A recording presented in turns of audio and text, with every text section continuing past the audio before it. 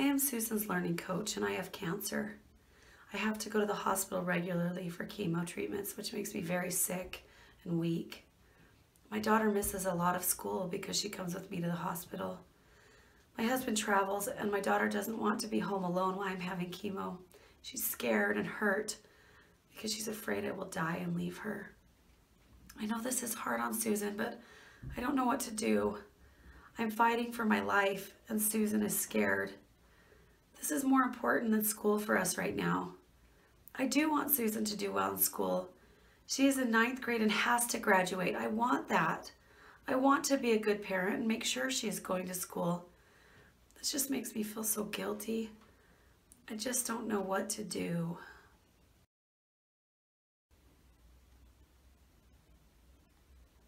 Hi, I'm a ninth grader at UTVA. My mom and dad are getting a divorce, and I don't understand why they are not getting along. All I know is that they are always fighting. I have a brother who is in fourth grade, and this is really, really hard on him. Dad signed us up for online school because he thought it would help my anxiety, and it has. I actually like going to school this way. But my mom was completely against it. She's fighting for us to attend a regular school and trying to tear us away from my dad. She wants the court to think our dad is wrong by signing us up for online school, she says he is unfit to take care of us and we should never be allowed to go to his house.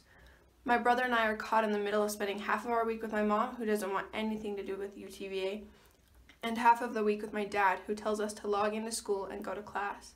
The only problem is he goes to work during the day, so I end up having to help my brother, which makes it really hard for me to get my assignments done.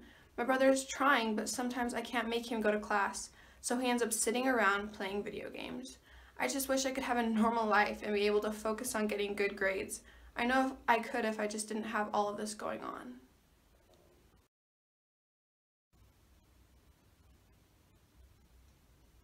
I am an 8th grader at UTVA. When my family moved to Utah, my parents said we had an apartment to move into. We finally got here, the apartment was being lived in by someone else. We didn't know anyone and we didn't have anywhere to stay. This was really scary for me. We ended up staying with people we didn't know from our church. I didn't have any privacy or place to put all of my things. We had to store everything in a storage unit. I didn't have any of my favorite clothes or books or games. I didn't even have a bed to sleep in, and we were never in one house for very long. I guess that's what they call couch surfing. I didn't like it.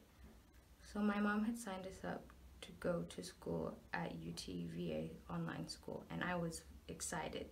This meant I didn't have to worry about being bullied or being left out. I was the one who asked my mom if I could go to UTVA. I like the idea of working at my own pace and not having to worry about the school environment. I was very organized and I do not like to be behind in school. Not having our own place to live in made it impossible for me to do well in school. Sometimes we didn't even have internet where we were staying. I tried using the library, but my life was crazy and I started feeling bad about myself. This was the first time I was flunking school.